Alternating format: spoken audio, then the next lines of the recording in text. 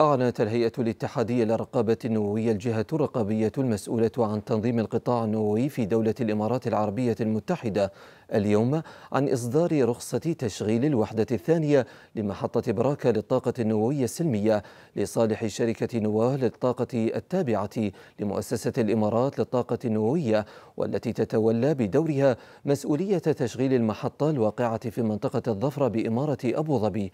وذلك على مدى الأعوام الستين المقبلة. وينقل براكة مسار التنمية في الإمارات لمراحل متقدمة تضع الدولة ضمن نادي الكبار وفقا لالتزامها ببناء اقتصاد وطني متنوع وموائم للمتطلبات والمعايير العالمية لمواجهة تحديات التغيير المناخي والمحافظة على استدامة المورد الطبيعية وخفض الانبعاثات الكربونية.